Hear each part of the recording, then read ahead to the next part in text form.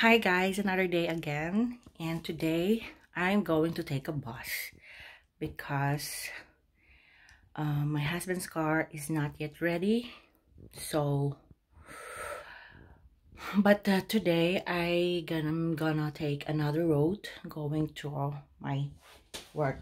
But before anything else, I will just um, advise you guys before you go out that you need to take Hapo sunscreen or sun lotion. In Norwegian, it's solkrem. It's very important to protect your skin. And one more thing is, I use this one for mga lamok. Ayaw natin makagat ng mga lamok.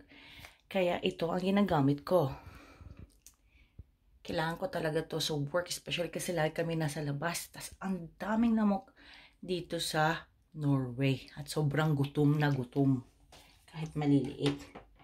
I have a lot of uh, different, um, ano na yung lamok oh my God, mosquitoes. Mosquito spray. So, guys, it is just an advice, okay? So, have a wonderful day.